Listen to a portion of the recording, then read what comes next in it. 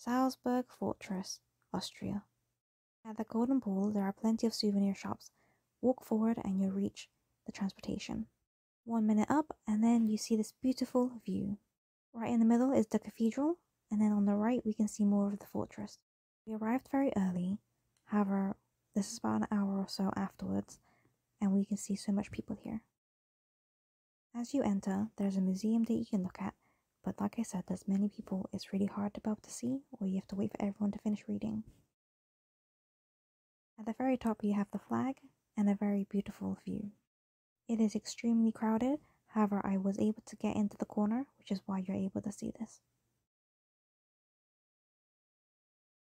I was just standing up there, but now we're just going to head back down.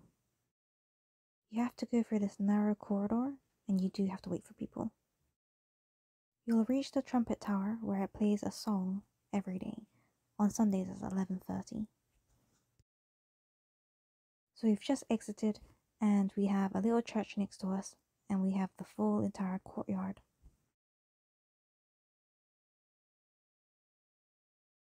So this is inside the church. It's very small and many people are inside, so it's just a quick look. Next we went to the museum. There are lots to read about and see. It's also in different languages, which is quite nice. The best part is all these interactive games. It was actually really fun, and we probably spent the longest in this area, but it was mainly because we had to wait for the games. As you leave, there's a souvenir shop. We're back at the courtyard and we're going through this arc, and on the right hand side, there's a couple of extra small rooms.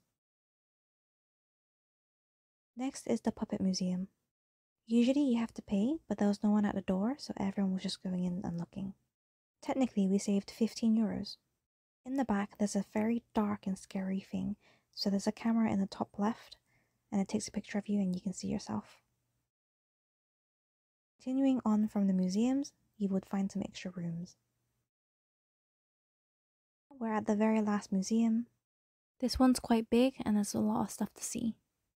I quite like this one because you get to see all the uniform and the guns.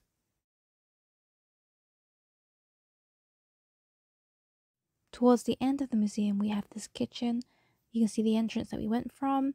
And then we have a couple extra rooms like this cool armor. Finish off with a souvenir shop.